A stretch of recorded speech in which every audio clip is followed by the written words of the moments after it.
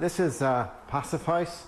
It's extremely uh, energy efficient. These are a very high quality uh, window. Keeping things snug is the key to making the energy we do use go so much further. In future, developers could be forbidden from connecting homes to the gas grid entirely. Electric has the advantage that it can be produced sustainably. Uh, wind turbines, PV cells, photovoltaic cells. Paul designed this house to use very little energy at all. There are extra upfront costs, but payback longer term. That's to do with the fabric of the building, the materials, the windows, the doors. And what about for social housing and housing associations in future? It lends itself perfectly to, to social housing. The good thing about it is it's using so little uh, energy that the idea of fuel poverty is completely gone. The report says all homes would need to produce zero emissions by 2050.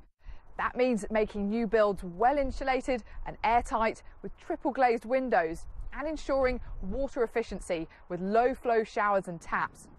It also means using eco friendly construction techniques like timber frames instead of concrete or steel.